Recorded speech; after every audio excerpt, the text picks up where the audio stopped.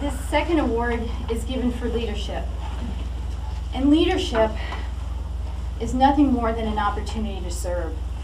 It is not a trumpet call to self-importance, quite the opposite in fact. It is about humility, sacrifice, hard work, and honor. When the citizens of this organization identified a systemic problem in the jail booking process, it was Officer Mark Spencer who came forward and said, how can I help you fix this problem for the good of us all? And then he stood side by side with us until the job was done.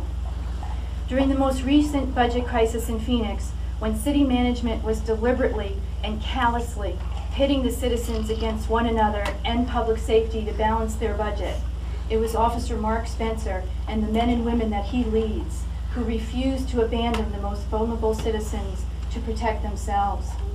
He united our community, citizens and officers, and led the way in protecting both, no matter the cost for himself. Even in the final hour, when tempted to hand over the interests of the citizens he had given his word to protect, he stood like a wall in front of us and would not stand down. Officer Spencer, today we gratefully honor your devotion and service to our community and give you and your family our deepest thanks.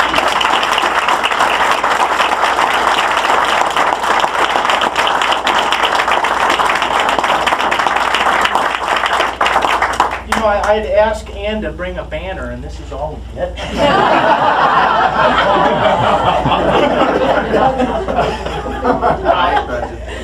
You heard from my peer here, uh, important concept, and it's easy to fly by that concept. The concept is teamwork.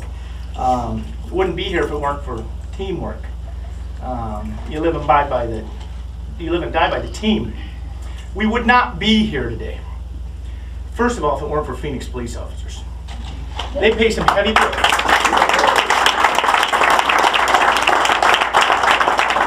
They pay some heavy bills, not only in union dues, uh, but with their lives.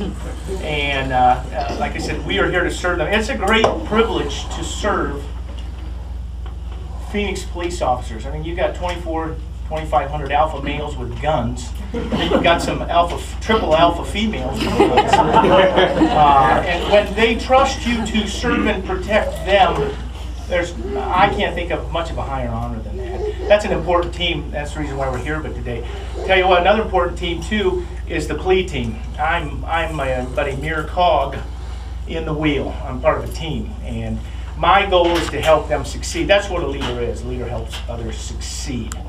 A leader is committed to the success of others and do what you do best. And my role is to help these guys in the PLEA office here and our reps do what they do best. You know what? The quickest way not to become the police chief is to become a union rep. and they know that up front. And so they're here to serve. Not that it's wrong to be the police chief, but they know that up front. It's a team effort. And, and the third team that you really need to pay attention to is our community. Uh, and uh, you guys are more than partners. Paul, you're more than a partner. You're a friend. I mean, you come to my couch any day and lay on it, like you've done in the past. I know, when I look at Donna and Jerry, you know, I, I, I always had concerns, Mike. I don't know if I would share my wife with 2,500 alpha males with guns. Uh, but it hasn't hurt Donna much when Jerry did that. And wouldn't be here. You know, you've heard the song, uh, I was country when country wasn't cool. Well, Donna was community activist when community activist wasn't cool. And I don't know if we. We have wonderful partners even outside the community too. Sheriff Arpaio, thanks for being here. You're a friend.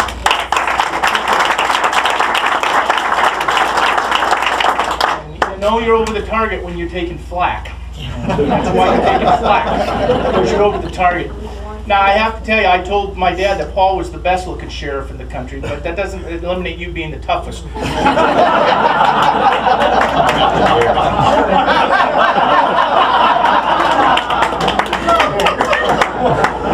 I, see our friends with council people here, Sal and Thelda. I can't appreciate enough that you're being here. And once again, there's another partnership with the council. It's just so many things. Uh, I tell you, there, there's no room in success for arrogance. It just it doesn't work. It just doesn't work, and it, and it ends in failure. And I guess uh, there's so many people I could thank, but, but last of all, I, I gotta thank Ann.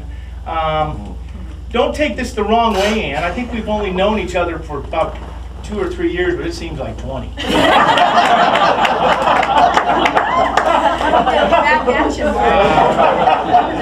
we say and do things in front of Ann that we would never do in front of our mothers.